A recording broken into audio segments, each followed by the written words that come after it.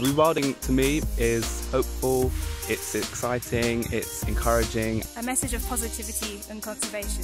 Really recognising nature as an ally uh, and working alongside it to improve uh, our environment. Rewilding is really just a, a, look to the future. It's a chance to do something different in nature conservation, engage new people in it, and, uh, and really just shake it up a bit.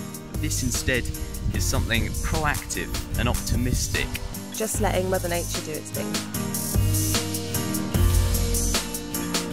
My three words to summarise rewilding would be hopeful, wild, of course, optimistic, connection, exciting, optimism. You've caught me with this question. I'm going to have to go again. Hopeful, energising, holistic, challenging, adventure.